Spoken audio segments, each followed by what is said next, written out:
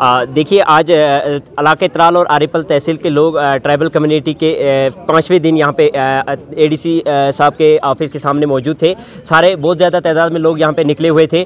पिछले पाँच दिनों से जो कि इलेक्ट्रिसिटी बिल है जिसमें कि पहले हमें टू ट्वेंटी रुपीज़ रेट आती थी बिजली बिल की मंथली और आज जो है, वो फाइव ट्वेंटी फाइव थर्टी तक जा पहुँची अचानक से। हमें मालूम ही नहीं पड़ा कि ये कैसे हो गया।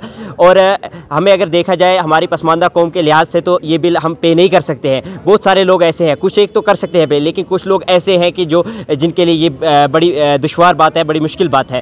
तो इसके इसको लेकर हम डिपार्टमेंट यहाँ आए एडी साहब के पास कल दिन को भी हम यहाँ आए। तो उसके बाद फिर हम जे ए ई साहब के पास गए। तो उन्होंने हमारे साथ अच्छे से बात की और हमें एक स्ट्रेट वे दिखाया कि आपको क्या करना है, कैसे जाके आपका मसला जो है हल हो सकता है। आज हम यहाँ पे जब लोग सारे जमा हुए तो यहाँ पे एडी साहब मौजूद नहीं थे, लेकिन तहसीलदार साहब ने हमारे साथ बातचीत की।